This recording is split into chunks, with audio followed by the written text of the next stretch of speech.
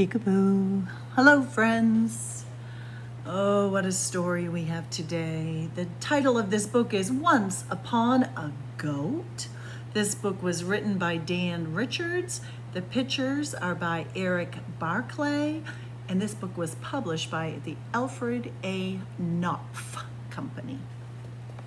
And if we look right here on this very first page, uh-uh, this goat has done some chewing. Once upon a goat. Once upon a time, in a faraway kingdom, a king and a queen wished for a child. Yes, but where would we put it? asked the king. Next to the vase on the hearth, naturally, replied the queen. Or beside the roses in the garden, the king added. Oh, yes, perfect, agreed the queen.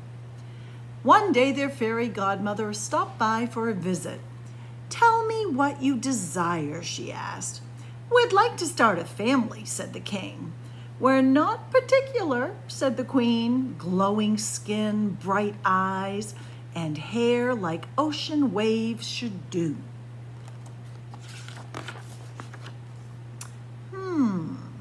Said the fairy godmother.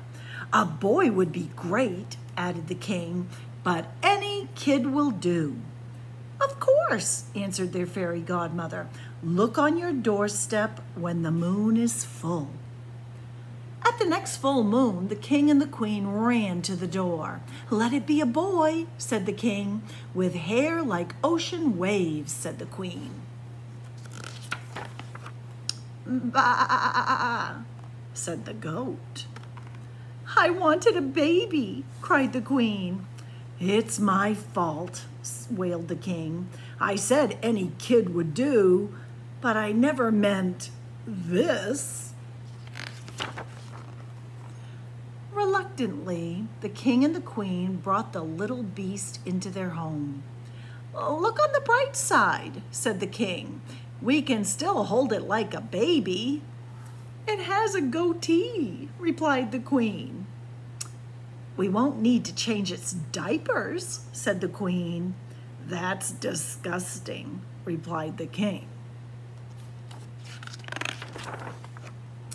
At least he loves the royal roses, said the king. That's it. It has to go, commanded the queen. I guess we're better off now, said the queen sadly. A stand had to be taken for the roses, replied the king. Of course, said the queen. That night it rained hard. It's not our fault we were given a goat, said the queen. Not our fault at all, added the king. And yet I wonder if we were right to send the poor little fellow away on such a blustery night. Clearly, he lacks the good sense to find shelter. I suppose he could come in just for a bit to dry off. He looks hungry, said the king. Maybe he could share a nibble or two from our meal.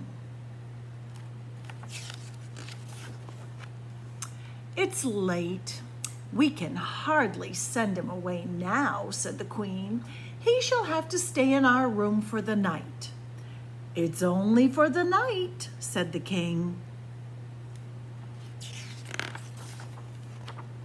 One night turned into weeks, and weeks turned into months. Before long, their fairy godmother returned for a visit. How is everything? Wonderful, replied the king and queen. Perfect. May I see the child? Isn't he darling? said the king. A blessing, added the queen. You must be joking, said their fairy godmother. It's a goat. Yes, left on the doorstep when the moon was full, just like you said. Uh-oh, said their fairy godmother. I'll be back. Oh dear. This is for the best, really.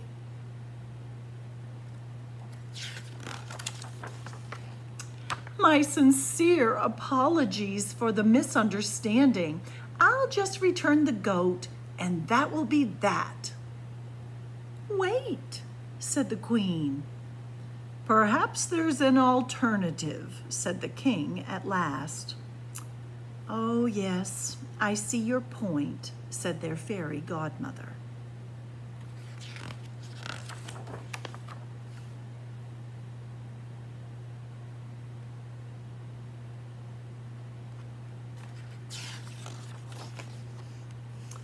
Well, said the king, not exactly the family we wished for. No, replied the queen. Better.